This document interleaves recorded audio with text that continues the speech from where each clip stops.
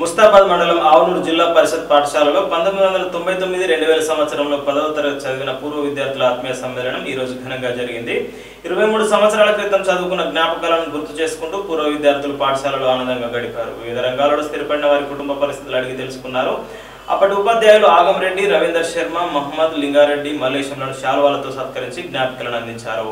కార్యక్రమంలో పూర్వ విద్యార్థులు గుండం అశోక్ నక్కదాసరి సాయి కృష్ణ సిద్ధి భాస్కర్ భాను విశ్వనాథ్ రాజు శేఖర్ పూర్ణిమ సునీత లావణ్య శ్రీనివాస్ రెడ్డి ఉపేందర్ రంజిత్ రవీందర్ విద్యార్థి విద్యార్థులు పాల్గొన్నారు. ఇది గురువు గారి యొక్క చక్కటి సంస్కృత శ్లోకం. మరి ఈ యొక్క శ్లోకంతో నేను ఈ యొక్క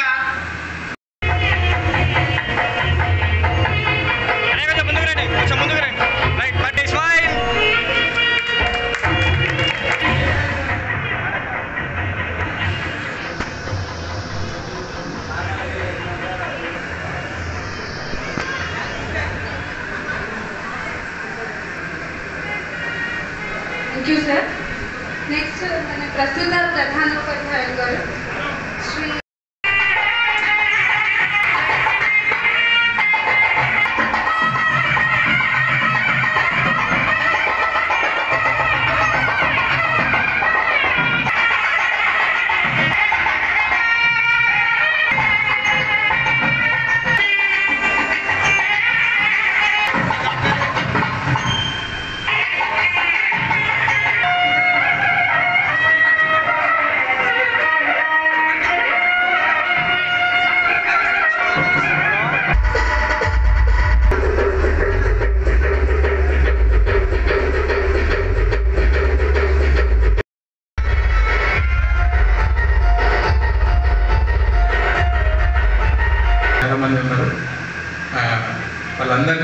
ఈ రకంగా కలుసుకోవడం కూడా చాలా సంతోషకరం.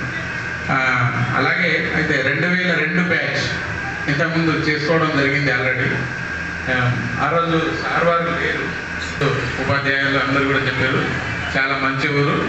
ఇక్కడ అంతా కలగలుపు ఉంటారు అనమాట అంటే కలుసుకోపోవడం మేము ఇప్పుడు చూస్తూ ఉన్నాం కదా నేను వచ్చి ఎనిమిది సంవత్సరాలు అవుతా ఉంది. అంటే నాకు ఇలా చాలా మంది అంటే చా- తొమ్మిది సంవత్సరాల తేడా ఉంది మనకు. నాది తొంభై కూడా బ్యాచ్. హాస్టల్లో ఉన్నటువంటి మిత్రులు కూడా ఉన్నారు. మరి మీరందరూ కూడా ఇక్కడ విద్యాబుద్ధులు నేర్చుకొని మంచి ఉన్నత స్థాయికి ఎదిగి గెట్ టుగెదర్ చేసుకోవాలనే ఆలోచన మీలో చిగురించడం చాలా సంతోషదాయకం. మరి మరి మీ బ్యాచ్ ఇప్పుడు ఉపాధ్యాయ బృందం చెప్తా ఉన్నారు మంచి బ్యాచ్ అని.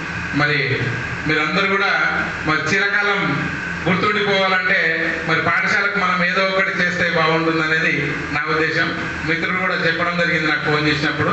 మీకు ఏదైనా కావాలంటే ఇస్తాం సార్ అంటే మరి డబ్బు రూపంలో మాకొద్దు. ఏదన్నా గిఫ్ట్గా వస్తువు ఏమై ఏది ఇచ్చినా సరే మా రిక్వైర్మెంట్ చెప్తామని మేము చెప్పడం జరిగింది. లైఫ్ లాంగ్ గుర్తుండిపోయేటట్టు చేసినా సరే లేకుంటే ఇండివిజువల్ చేసినా సరే అక్కడ నేను గమనించడం జరిగింది. మిత్రులు చెప్పారు మరి మీరందరూ అనుకుంటే మీకు మీకు తోచింది మీ ఊరు పిల్లలకు.